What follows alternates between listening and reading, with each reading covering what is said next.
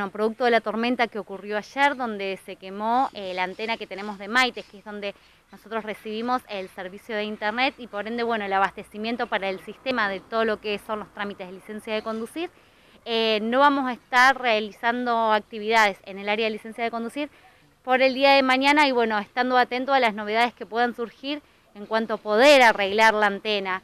Eh, nos estamos comunicando uno por uno con las personas para reprogramar muy probablemente para el día jueves, que nos estaban diciendo bueno, que ya el miércoles podría estar garantizado el servicio y coordinamos con todo el personal para poder hacer em, tareas en simultáneo para duplicar la cantidad de gente que se pueda llegar a recibir y que no se retrase eh, más todo lo que son los turnos de las personas. Sí, sobre todo teniendo en cuenta que la semana que viene hay dos días de feriado. ¿no? Sí, absolutamente, también contamos con eso, con una semana muy reducida. Diciembre de por sí es un mes reducido porque tenemos otros feriados.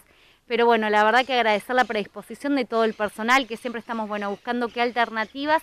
Y bueno, y este mes de diciembre, atento a todas estas fechas que, tenemos y bueno, de cuestiones que surgen, que escapan de, nuestra voluntad y de nuestras intenciones, eh, duplicando la posibilidad de que pueda venir gente para poder garantizar los turnos del mes. En este caso, bueno, ¿están ustedes comunicándose con quienes tenían turnos o es necesario llamar para consultar? No, no, no, nosotros nos estamos comunicando uno por uno con los números de teléfonos que nos van dejando cuando hacen las inscripciones.